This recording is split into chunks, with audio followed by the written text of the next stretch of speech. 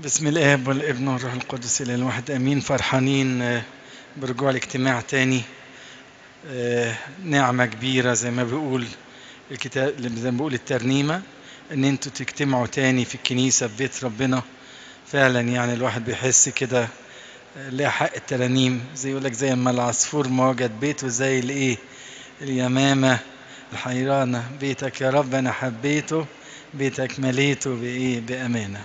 فنعمة كبيرة فعلا وحاجة عظيمة جدا إن إحنا نجتمع في الكنيسة. صلوا ربنا ما يسمعش تاني بقفل الكنيسة وتتفتح بقية مدارس الأحد والفروع كلها. الحقيقة كنت عايز أكلمكم النهاردة فكنت بفكر أكلمكم عن آه، خطية في الإنجيل مذكورة والمسيح له المجد بيحذرنا منها لخطورتها. الخطية دي اللي هي الإدانة. خطية الإيه؟ الإدانة. تالي موضوع خطية الإدانة دي ناس كتيرة بتعملها وهي ما بتحسش إنها خطية. يعني إيه يعني اللي حصل يعني؟ فلانة دي بتعمل وبتسوي وبتخلي واحد يتكلم دي متعبة دي ده متعب ده بيسوي ده ليه كده؟ ده إيه؟ ده إيه؟ دايما الناس بتتكلم مادة حديث يعني. يعني الإدانة دي بتبقى عند الناس مادة للحديث عشان يحكوا مع بعض كده بحيث إن هم يبقوا حبايب مع بعض فيحكوا على حد غيرهم? ودي خطيرة جدا. موضوع الإدانة ده موضوع خطير جدا. فلو جينا نشوف أكتر واحد بيدين مين؟ عايز حد كده يفكر فيكم. أكتر حد يدين؟ في الكتاب المقدس. أكتر واحد دان ها حد بيقول هنا؟ حد بيقول هنا؟ ها؟ يهوذا لا. ها؟ مش سامع.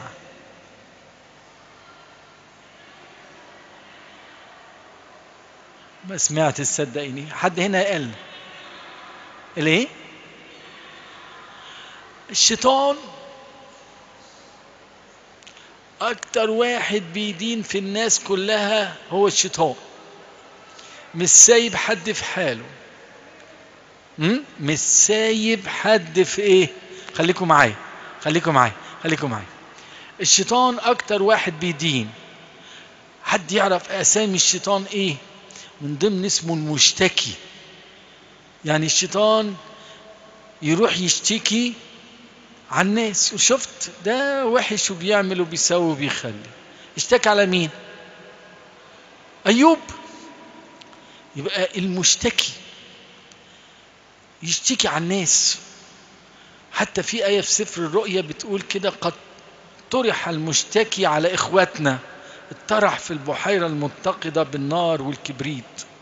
المشتكي على مين؟ على إخواتنا. يعني طول النهار بيشتكي على الناس ده وحش ودي وحشة وده بيعمل وده بيسوي وده بيخلي وده يخلي بيرفع شكوى لمين؟ الشكوى دي كان بيرفعها لمين؟ لربنا. يقول له شفت أيوب أهو. يلا بقى انتقم منه بقى. يلا وريني فيه بقى. شوف هتعمل مع أيوب ده إيه. هم؟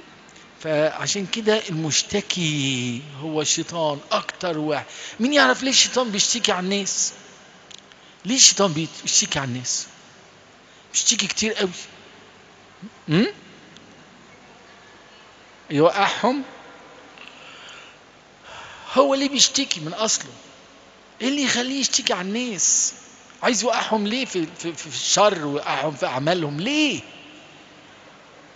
عشان إيه؟ أنتوا. أنتوا بعدها مش هينفع اسالكم وتردوا لكن معلش كان نفسي إن إحنا ندردش. لو كان الفصل لو كان حاجة صغيرة كنا دردشنا. لكن بيشتكي عن الناس لأنه بعيد عننا شرير وقاسي عدو للخير. عايز يشوف فيهم يوم يشوف في ده يوم وفي ده يوم وفي ده يوم وينتقم من دوت ويبهدل ده ويبهدل ده. يفرح وينبسط لما لما الناس يجرى لها إيه؟ تتبهدل يجرى لها أي حاجة تتأذي. ينبسط. مش يتقال عنه من البدء كان قتالا للإيه؟ للناس. يبقى الشيطان من البدء كان من البدء من زمان كان قتالا للناس. فالشيطان كده. مش عايز يسيب حد في حاله. عايز نفسه يشوف في الكل حاجة كده وحشة كده. لدرجة حتى الحيوان ما يسيبوش في حاله. عارفين المعجزة بتاعة المسيح له المجد بتاعة كرة الجدريين لما طلع الشيطان اللاجئون اللي كان في الولد اللي بتاع كرة الجدريين وبعدين إيه اللي حصل إيه؟ قال له ابعتنا لأي حد نأذي أي حد بقى يعني. ما نطلع من الواد ده نروح فين؟ نروح للخنازير نأذيهم نغرق الخنازير في المية.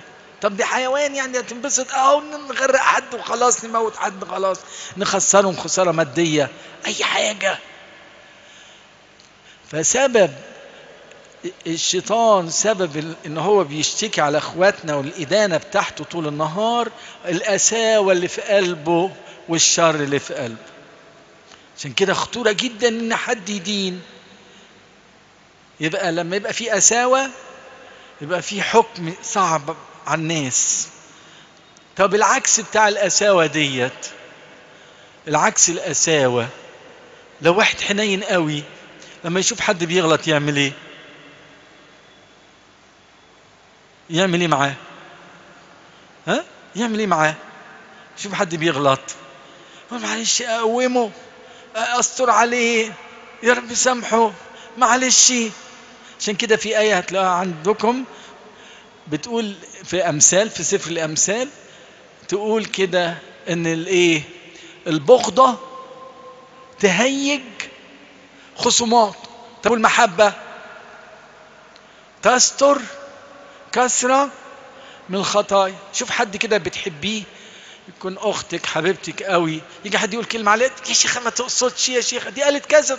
ما تقصدش أنا عارفاها. أنا عارفة قلبها. أنت فهمتيها غلط أنت اللي فهمتي غلط. آه معلش يمكن كانت متضايقة كانت زعلانة ولا حاجة. أو بنتك مثلا يجي حد يتكلم على بنتك. شوفي هترد إزاي. ولا تقولي لها آه دي بنت مفترية وتستحق قطم رقبتها دي بنتي دي. هتقولي كده؟ لا طبعا مش هتقولي كده. هتقولي دي بنتي أحسن بنت. صح؟ يبقى اللي يخلي الإدانة تبقى سهلة هي إيه بقى؟ هي القساوه عدم المحبة. شفتوا الآية بتاعه البغضة؟ إيه؟ المحبة تستر كثره من الخطايا والبغضة اللي هي الكراهية تهيج تهيج الخصومات حاجة صعبة. فبصراحة بقى حاجة صعبة قوي إن الواحد يدين طول النهار ده معناه إنه إيه؟ إنه مش مظبوط. قلبه فيه ما فيهوش محبة كفاية. لو قلبي فيه محبة كفاية زي ما هعمل مع بنتي بالظبط. هعمل مع الناس الباقيين مع جارتي ومع ديت ومع ديت ومع ديت. طب أكتر واحد يستر هو مين؟ ها؟ أنا سامعكم بتقولوا ربنا حتى لو مش سامعكم بس سامعكم بقلبي بتقولوا ربنا. أكتر واحد ما بيدينش الناس هو الديان. صوروا بقى. أكتر واحد ما بي... مش عايز يحكم على الناس. طبعا هو الديان اللي هو العادل اللي هيحكم على الناس بس هو مطول باله قوي. عشان كده اسم ربنا لما جه يسألوا عن اسم ربنا في سفر الخروج فقال اسم عجيب قوي. قال اسم عجيب قوي. إيه الاسم ده؟ اللي قاله في سفر الخروج. الاسم اللي قاله في سفر الخروج هو الاسم اللي إيه؟ هنجيبه لكم دلوقتي في سفر الخروج 33 مس نرمين هتطلعه لكم. الاسم ده إيه بقى؟ ان ربنا اسمه زي ما أنتم شايفين. ها في سفر الخروج يقول كده هوت خروج 33 يقول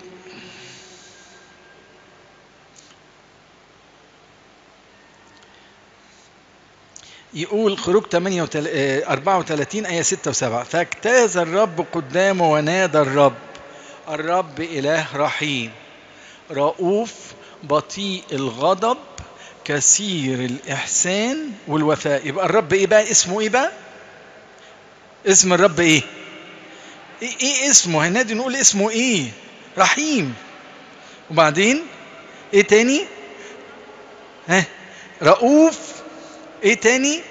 بطيء الغضب. إيه تاني؟ كثير الإحسان والوفاء. كثير الإحسان والوفاء.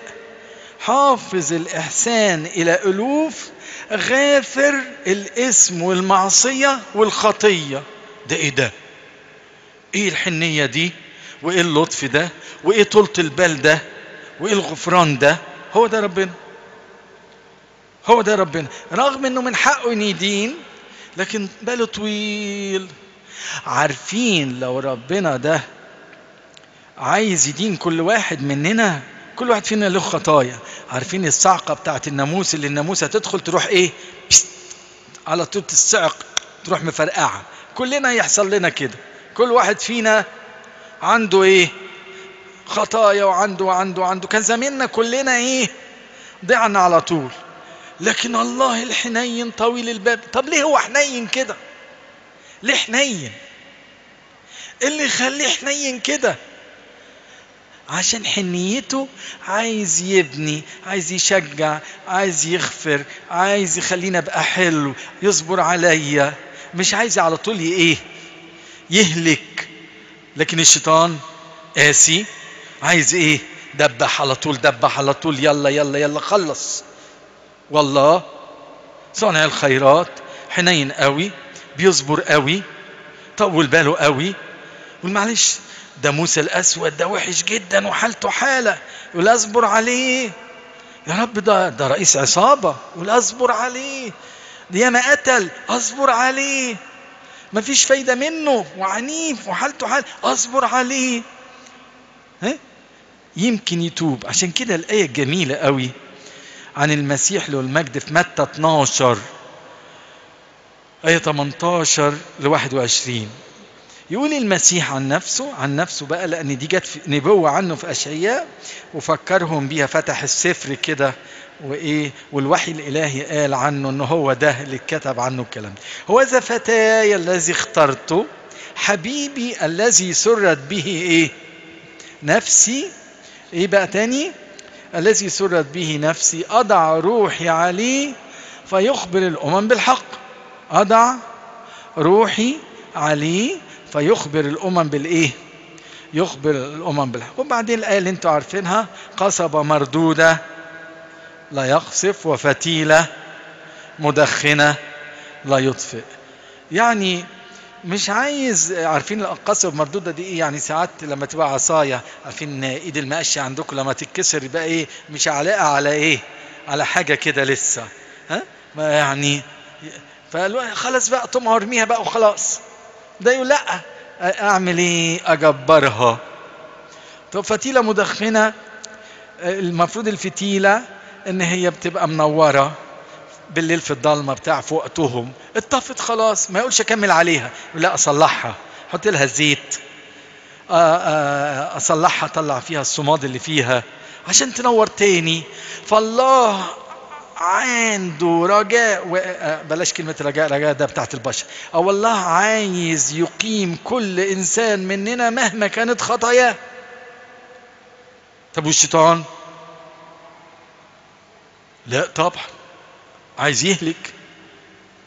طيب يبقى اللي بيدين وزي الشيطان بعد عنكم يتشبه بالشيطان عمال برضه يشتكي على أخواته. دي كذا وده كذا وده وحش وده بيه وده بيه كأنه بيشتكي مع الشيطان لربنا شوف يا رب دي وحشة شوف يا رب دي وحشة.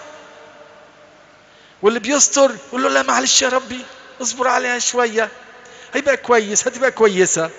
ده غلبان حنيتك طويلة طول بالك عليه طول بالك عليها.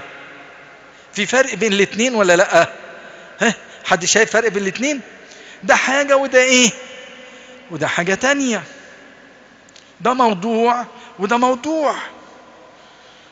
فعشان كده صعب قوي ان إيه ان الواحد يدين يبقى قاسي القساوة تساوي الإدانة تساوي قساوة وحكم. تقول لي طب هو ربنا بيسمع؟ ربنا شايف وهو عادل من غير ما تقول أو تقولي.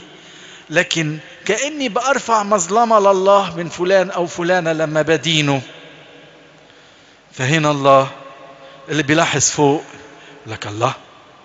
انت رافع المظلمة دي تقول له آه. لا خلي بالك لو المظلمة دي قدام المحكمة الإلهية مش مظبوطة في في تفاهم تاني.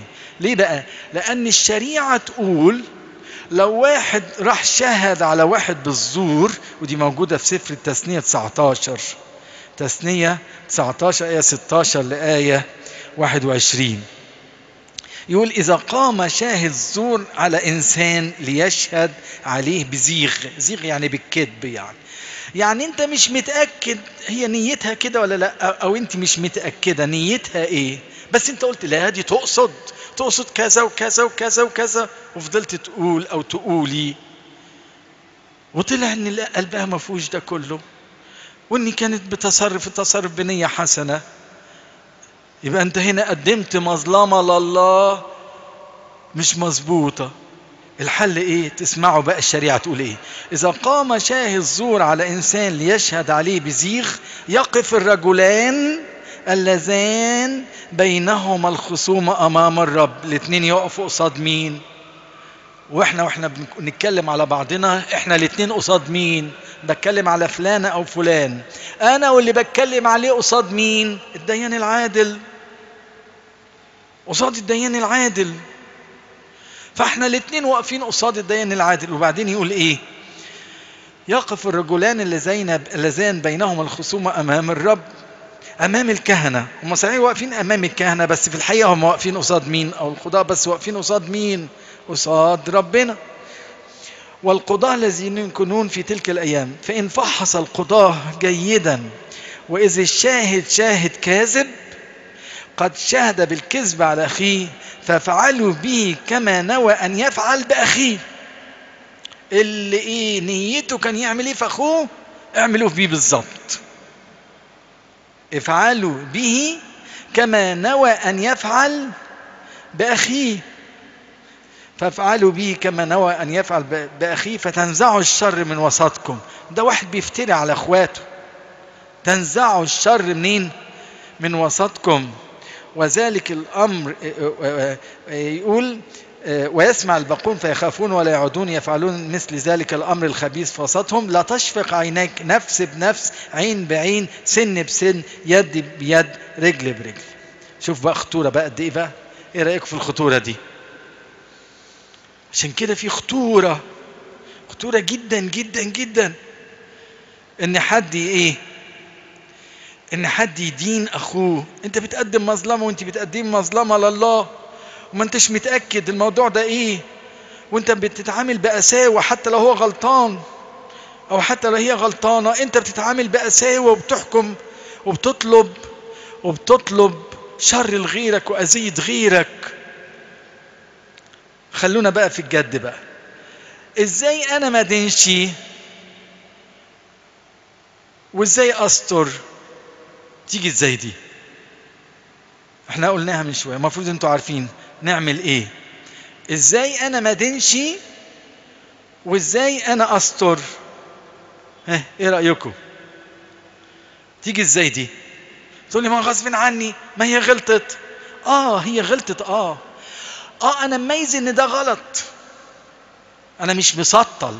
عارف إن دي شتيمة هي شت شتمت مثلا أو كذبت أو عملت أو سوى أو خل أنا عارف إن دي خطية. بس الحكم معناه اساوه في قلبي بطلب عليها عامل نيابة وبطلب أشد الحكم عليه. بالغيظ والإيه وأتمنى لها أتمنى لها الشر مثلا. واخدين بالكم معايا؟ فأنا مميز الخطأ بس ممكن حاجة من حاجتين أبقى حنين وأقول أدبر لها على تبرير ألتمس لها العذر أحس إن إيه ما أنا بغلط أنا كمان طب ارحمها. أطلب ربنا يقيمها من خطيتها. يبقى أنا ميز إن ده خطأ. بس في قلبي من جوه في حنية بحاول أستر وإيه وأطلب الرحمة. الناحية التانية أنا ممكن حتى أظن إن هي غلطت حتى من غير ما تغلط. اللي هي الظن السوء. وأقول دي كذا ودي كذا ودي كذا ظن بس. ما يكونش إيه؟ ما يكونش صدق. هي تقصد وهي تقصد حاجة صعبة. طب إزاي أنا قلبي أستر بقى وما دينش إيه رأيكم؟ عارفين إزاي؟ الإدانة بتنبع من القلب. وستري على أخويا بينبع منين؟ من القلب. لو قلبي حلو في محبة هلاقي نفسي إنسان طيب بيطلب الرحمة للكل بيبقى زي الله الرؤوف. كثير الرحمة الرحيم اللي عايز يستر على الكل اللي عايز يبني الكل الحنين. والعكس لو قلبي ما فيهوش محبة ربنا ولا في نعمة ربنا ولا نعمة الروح القدس ها يبقى هنا تلاقوا قلبي قاسي. فعشان كده القلب هو المشكلة في مين؟ فقلبي شكله إيه؟ قلبي شكله إيه؟ هم؟ قلبي بيتمنى الخير للكل ولا لأ؟ لو قلبي مع المسيح هبقى زي المسيح. هشوف الخطية هبقى عارف إن خطية. بس ابقى زعلان على الشخص. عشان كده معلمنا بولس الرسول بيقول من يضعف وأنا لا إيه؟ لا أضعف. إزاي أشوف حد بيضعف؟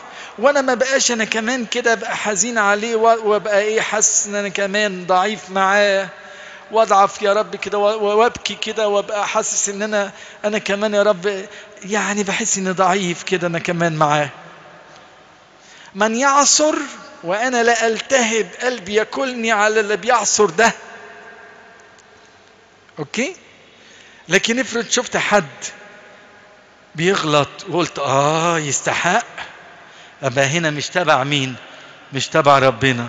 عارفين المسيح شاف أورشليم اللي رفضته وكان شايف وعارف اللي هيحصل بالنبوات.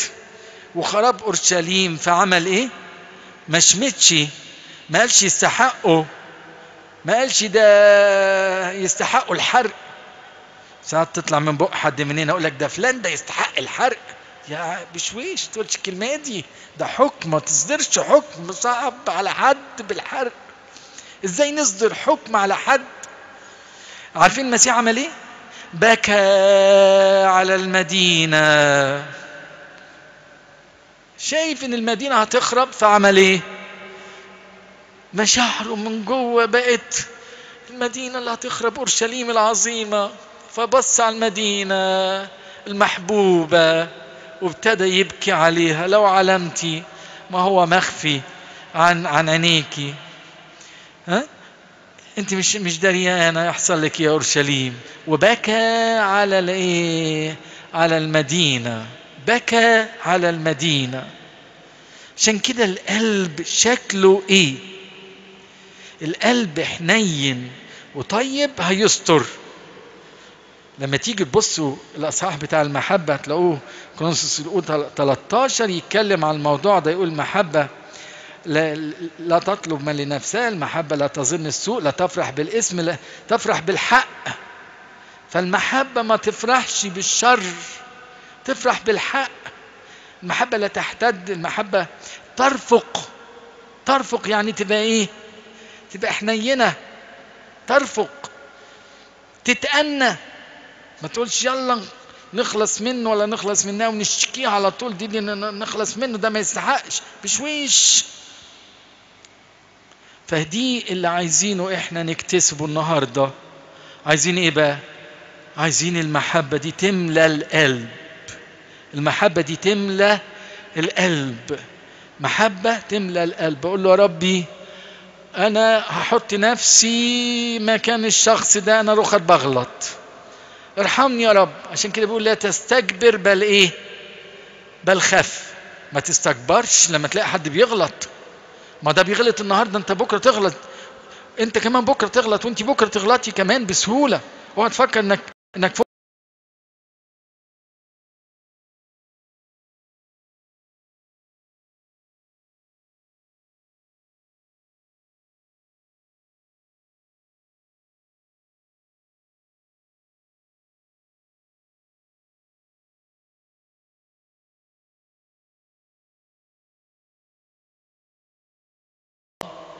وطلب مراحم الله. طلب مراحم الله. عشان كده يقول لنا بالكيل الذي به تكيلون يكال لكم ويزاد. طب هتكيل إزاي؟ بالرحمة. هكيل بالإيه؟ بالرحمة. أطلب الرحمة. اطلبوا مراحم الله. يبقى اتضاع وإيه تاني؟ وطلب مراحم الله وصلاة من أجل الآخرين. الحد اللي فات كانت الإنجيل بيقول باركوا ولا تلعنوا باركوا ولا تلعنوا. بارك ما تلعنش ما تلعنش بارك. قول يا رب سامحه يا رب سامحها يا رب اغفر له يا رب اغفر لها. لأن الديان فوق لما هيشوفك بتعمل كده هيقول أنا أرحمه هو كمان. ده في السكة بتاعتي ماشي معايا طالب المراحم والرأفات للناس. ده عايز يبني مش عايز يهد. لأن اللي بيدين غيره ده عايز يهد في مملكة ربنا. عايز يضيع ده ويضيع دي وده يروح بقى زي مطرح ما يروح وده يجرى له اللي يجرى له. طب دول بتوع مش بتوعك دول بتوع المسيح. الناس دي اللي انت عايز تخلص منهم وعايز ربنا يهلكهم دول دول تبع المسيح. اقتناهم بدمه. فازاي تتجرأ وازاي تتجرأي وتطلبوا إيه؟ وتطلبوا تطلبوا ليهم حاجة وحشة. ما تشتغل مع المسيح ابني. اشتغل مع المسيح خلص.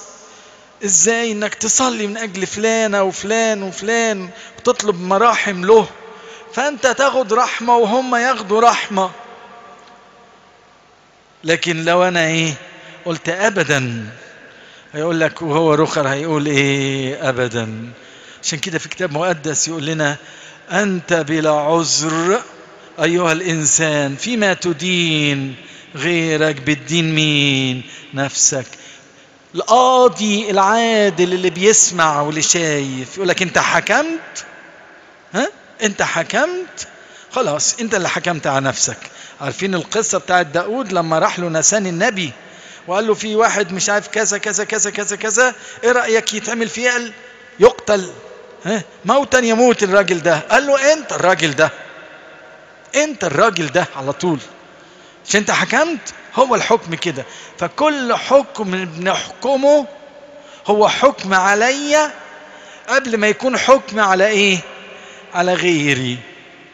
عشان كده نصلي ونطلب يا رب ارحمنا يا رب تحنن علينا يا رب ترأف علينا يا رب ملانا حنية على اخواتنا. التدريب اللي نفسي ناخده الأسبوع ده هو إيه؟ إن إحنا نطلب المراحم من الله ونطلب إن الله يتحنن علينا وعلى اخواتنا يتحنن علينا وعلى اخواتنا يرأف بيهم. لما يعني تشوف حد وحش تشوفي حد وحش اطلبي من أجلها. اطلبي من أجلها يا رب اتحنن. اتحنن يا رب على فلانة. باركوا ولا تلعنوا استفانوس نجح في الموضوع ده. استفانوس كان عمال يقول لا تقم لهم يا رب هذه الخطية. يا رب يطلع منهم ناس حلوين. وفي الآخر خالص طلع. طلع بولس الرسول كان واقف ب ب ب ب بشدة وعمال يرمي بالطوب. اتحول قلب بولس الرسول. وطلع لما طلع استفانوس السماء وبعد شوية استشهد بولس الرسول وطلع فوق في السماء قعد جنبه قال له إزيك يا حبيبي انت جيت. ها؟ أنا مبسوط إن أنت جيت. كنت بصلي لك. عشان ربنا ما يقيملكش الخطية بتاعتك وانت بترجمني واديك إيه خلصت عايزين الناس تخلص. عايزين الناس تخلص مش عايزين نهلك الناس. هو لا يشاء هلاك أحد. ساعة المرأة الخاطية قال لها كده هم واقفين عايزين يرجموها قال لهم من منكم بلا خطية فليرميها أولا بإيه؟ بحجر. وبعدين لما فيش فايدة قعد لما كان بيكتب على الأرض كل واحد حس بقى فالمسيح بيقول لي كده هوت هتكف عن إخواتك ولا أنا كمان افتق لك وأطلع؟ هتعرف تطلع يا رب؟ إلا طلع. ده هيطلع بعيد عنكم. كل واحد فينا مليان. في مين اللي بار يقول أنا بار هيطلع كتير. هقف قصاده إزاي؟ هبقى عريان ومكشوف في الوقت ده. هقول يا أرض إيه؟ شقي وبلعيني للجبال اسقطي عليا ارحمني يا رب. نطلب المراحم. عشان كده المسيح قال لها أما دانك أحد؟ قالت له لا. قال لها ولا أنا أدينك.